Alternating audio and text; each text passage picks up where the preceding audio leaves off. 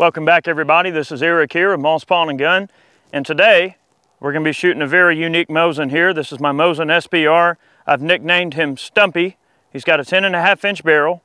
Uh, this one's cut down kind of like a Russian mare's leg, but this configuration actually is pretty close to what a lot of the Russians would have cut down in the war in times of need. Uh, they were called Obrez pistols, and they would take a, a standard long gun Mosin, they'd cut it down, cut down the barrel nice and tiny, and they'd have them a little trench blaster or something they could go in and out of buildings and clear buildings with, or just personal defense.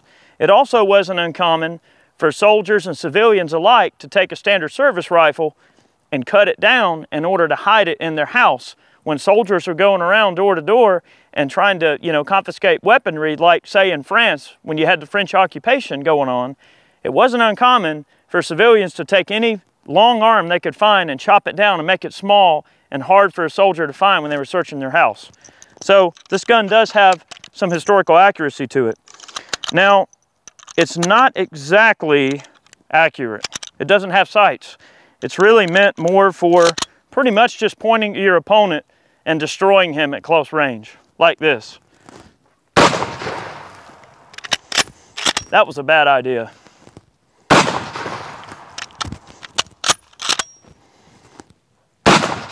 Look at that, I missed him. That's all right, we'll deal with him in a minute.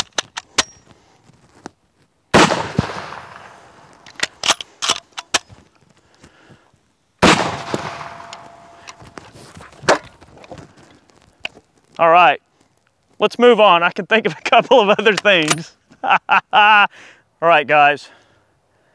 I've got a little bit of a confession to make, all right?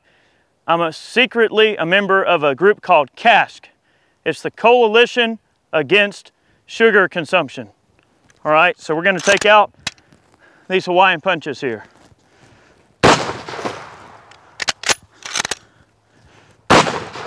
Look at that, ripped a hole right through it.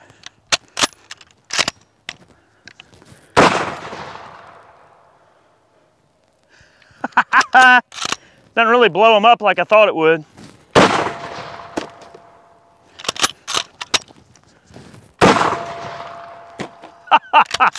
All right.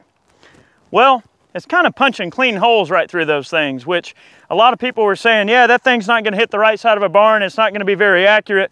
Well, it's not very accurate, but it definitely still puts a, a punch on stuff when you shoot it. So let's break out something with a little bit more fleshy consistency.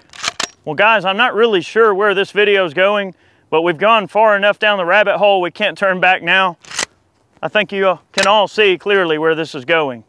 I just hope that the result is what you expect it to be. Here we go.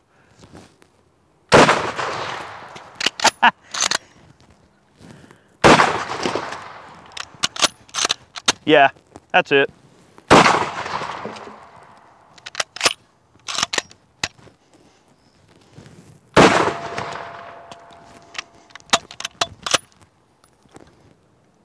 Hey, you only put four rounds in this dang thing.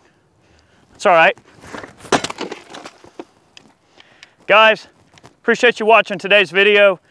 We've got a lot more on the way with this particular gun. This was just really meant to be kind of a fun little introduction to this little SBR. Uh, it's been kind of a project that's been in the works for quite a while. I hope you saw the humor in this video. We were trying to have some fun with it. Um, we are going to be doing some serious accuracy testing with this gun, okay? I think you all are going to be surprised how accurate a 10 and a half inch barrel can be out of a Mosin. Thanks for watching. Hope you enjoyed the video. We'll see you next time.